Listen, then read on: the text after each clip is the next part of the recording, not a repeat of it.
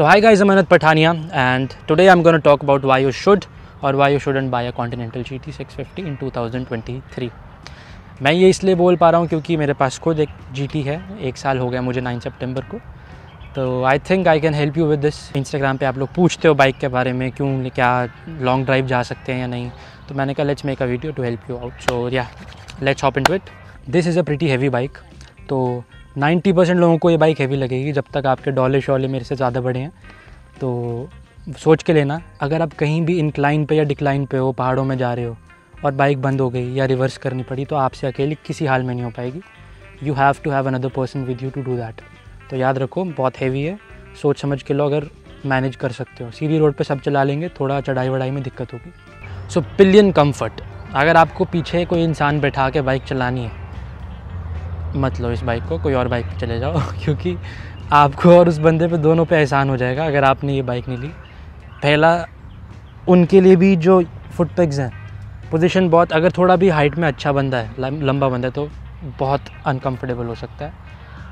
और आप जब बाइक चला रहे हो, ठीक है, आपके हाथ पे वेट आएगा, उनका वेट भी आएगा, पहले इतनी भारी बाइक है, उनका वेट आ गया, ज़रा सा भी हिले डिसबैलेंस हो गए, गिर जाओगे तो पिलियन कंफर्ट भी नहीं है और आपको भी कंफर्ट नहीं है तो planning to ride with someone your girlfriend your mom your daughter your भाई बंधु दोस्त, इसको मतलब जब तक वो बहुत छोटे हैं या बहुत पतले हैं।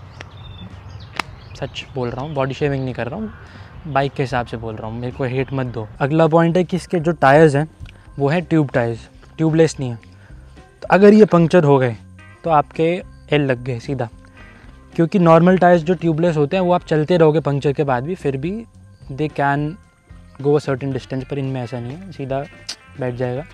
और बाइक इतनी भारी है मेन स्टैंड इसमें आता नहीं, वो लगवा लेना अलग से। तो आपको अगर खुद से पंचर भी करना है, बहुत दिक्कत होगी तो वो याद रखना। कई लोग बोलेंगे, आपने इसका वो डिसएडवांटेज तो बताया नहीं कि हीट होता है। So I think heating is not an issue क्योंकि बड़ा इंजन है 650 सीसी का इंजन है फोर्टी 47 bhp पावर जनरेट करता है 52 न्यूटन मीटर टॉर्क है।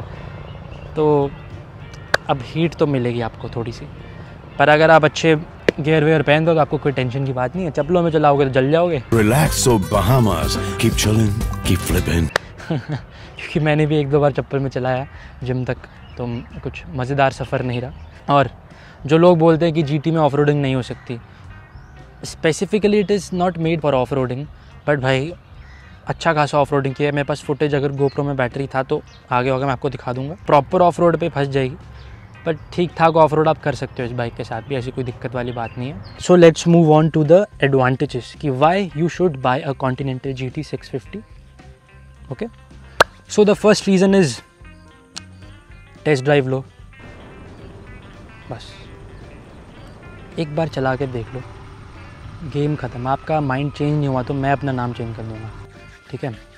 मैं गया था, जब मैं ये लेने लगा था तो मैंने सोचा था B M W G S three ten और जी टी सिक्स फिफ्टी का प्राइस सेम था। और मैं नया राइडर था, मैंने पहले ही अच्छी बाइकिंग इसी पे सीखी वरना थोड़ा बहुत ही आती थी। बी एम डब्ल्यू के शोरूम गया विले पार्ले वहाँ पे सिर्फ़ कार्स थी नो बाइक्स मैंने कहा, चलो जी टी देखाते हैं फिर। देखने गया।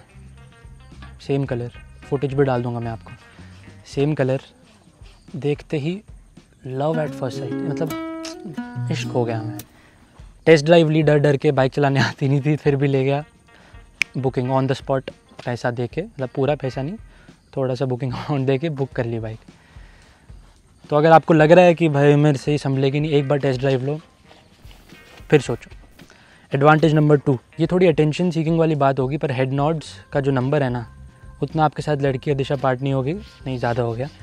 उतना नहीं मिलेगा, पर मिलेगा ठीक ठाक मिलेगा हेड नॉट सो इसका one of the best advantages की looks cafe racer old style vintage retro looks look wise I don't think retro bikes और ऐसी बाइक्स अब आ रही हैं। इतनी क्लासी ऐसी बाइक्स पहले चलती थी और it's just not a bike it's an emotion and I think ये सब नहीं समझ पाएँगे, ये बहुत कम लोग समझ पाएँगे। मतलब there something different about this bike कितनी भी अच्छी, महँगी बाइक चले जाओ लेते हुए, पर जी टी सिक्स फिफ्टी में कुछ तो ऐसा बात है ना, जो बाकी बाइक्स में है द बेस्ट एडवांटेज कि भाई इतना रिफाइंड इंजन इतना परफेक्ट आवाज़, इतना स्मूथ इतना पावरफुल इंजन है ना।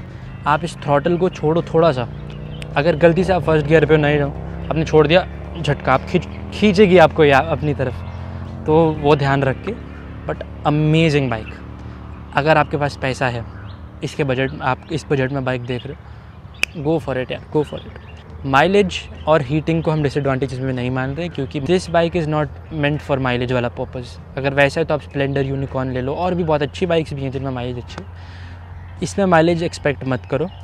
पंद्रह, बीस, बारह भी गिर सकती है depends on your riding style मेरे को पंद्रह, बीस से ऊपर नहीं मिली है। अगर आप चला रहे हो ना, वो फील आ रही है तो आपको पेट्रोल का गम नहीं होगा।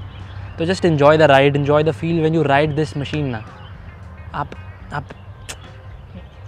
क्या यार, आप आओ टेस्ट ड्राइव लो। मेरी बाइक पे नहीं, मैं नहीं देने वाला अगर मेरे से कोई पूछ रहा है। मेरी, मैं बहुत पोजेसिव हूँ। मेरा तो बस ये कहना है, आप एक बार जाके टेस्ट ड्राइव बुक करो। आपको मज़ा आ जाएगा। मतलब आप आप थैंक यू बोलोगे मुझे कि ये बाइक के बारे में बता और ये इसलिए नहीं बोल रहा हूँ क्योंकि मेरी अपनी बाइक है, मैं जेनवनली आपको बता रहा हूँ। देखो प्रॉब्लम्स के लिए आप तैयार रहो। हर अच्छी चीज़ प्रॉब्लम देगी। जितनी अच्छी चीज़ है, उतनी ज़्यादा प्रॉब्लम देगी। अच्छी गर्लफ्रेंड है, वो भी प्रॉब्लम देगी। पर if you are ready for the problems. तभी आप एक रिलेशनशिप में या एक बाइक के साथ रिलेशनशिप में आइए। अब मैं यही बोलूँगा यार, मैं बड़ी रिस्की जगह पे शूट करूँ तो चलता हूँ। See you next time and be safe stay safe ride carefully wear your gear okay helmet पहनो ग्लव्स पहनो बूट्स पहनो जैकेट पहनो सेफली चलाओ, छपरी मत बनो।